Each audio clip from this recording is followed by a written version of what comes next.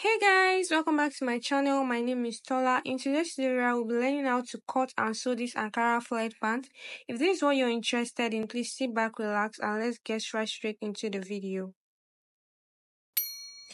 For this tutorial, guys, I'll be making use of one and a half yard of Ankara material.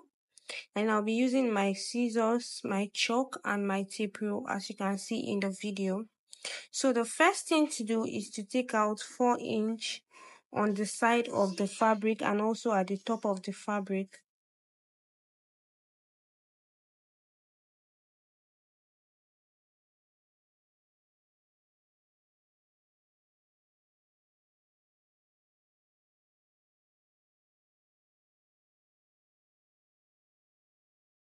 So after that, the next thing to do is to take your waist circumference divided by 3. It's divided by 3 because this is actually a flared pant. So for me, my, my waist circumference divided by 3 is 10 inch. And I'll go ahead and mark that out in order for me to get the circular waist shape.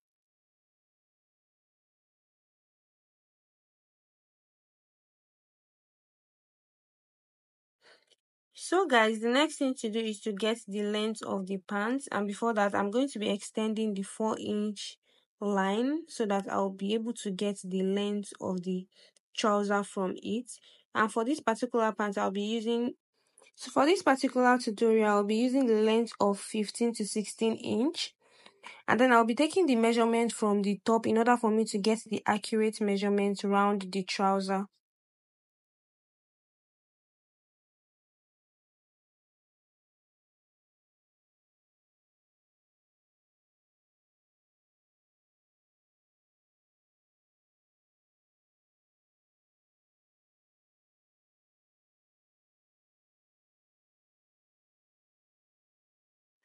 So I'm trying to bolden the lines out so we can see the lines of the chalk because the fabric is actually having like a white background. And so the next thing to do is to take our crotch depth. So for our crotch depth, we'll be using our hip measurements divided by 4. And then for me, my crotch depth is actually 11. After that, we're going to be dividing 11 by 4 for us to get our crotch extension at that.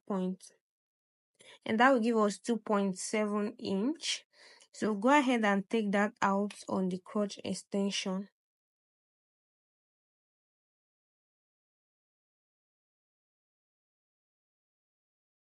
So for the down part, we are going to remove 0.5 inch and then we are going to be left with 2.2 inch. After that, we are going to be forming a curve from our crotch extension to our crotch depth. You can actually use freehand and if you have a curve rule, you can make use of your curve rule to form this curve. And then from the down, we are going to connect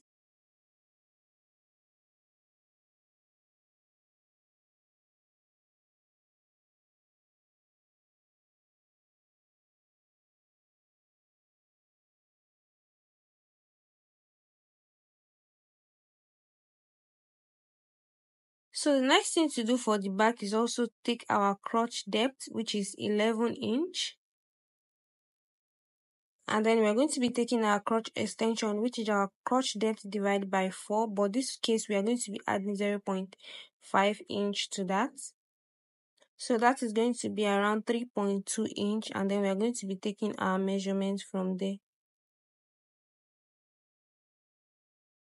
And then for the down part removing 0.5 inch from 3.2 inch we'll be left with so we'll be left with 2.7 inch and then we are going to connect with that. So making use of our curve rule of freehand we are going to be connecting that crotch depth to the crotch extension. As you can see i'm doing in the video so guys that's all for the drafting and then we're going to be cutting out this trouser. We're going to be cutting out by 0.5 inch on all side but then at the back we're going to be cutting by one inch because of the zip that we are going to be putting at the back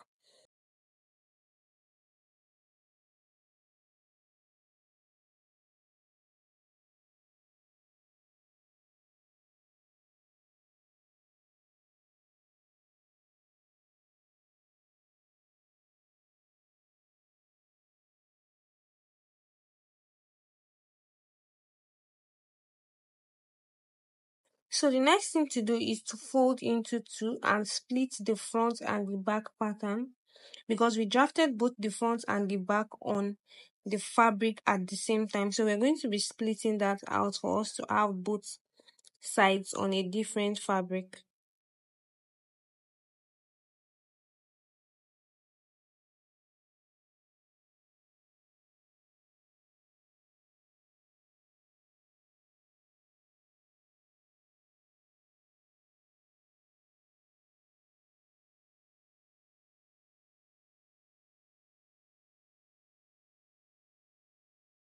So right after that, I went ahead and cut an extra piece for both the front and the back, as you can see. And then next, we are going to be joining the front piece together and the back piece, but we are going to be leaving out 7 inch allowance for 7 inch space for the zipper that we are going to be fixing at the back.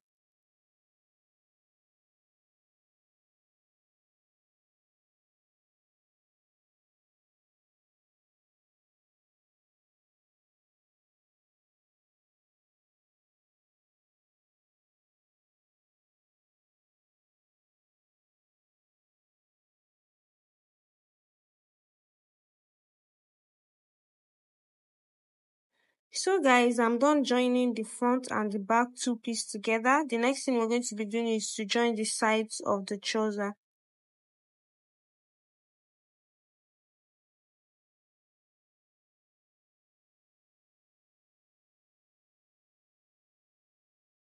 So after joining the side and the under together, the next thing we're going to be doing is to join the band for the trouser and then the band is going to be a 2.5 inch width band and then the length is going to be depending on your waist measurement.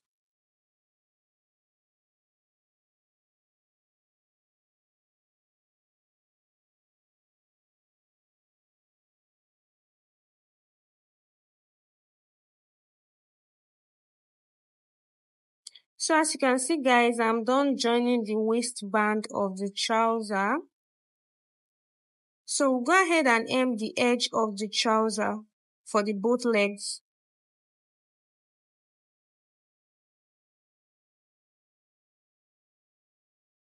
So guys, we are done hemming the edge of the trouser and then we are going to just go ahead to fix our zipper for the trouser.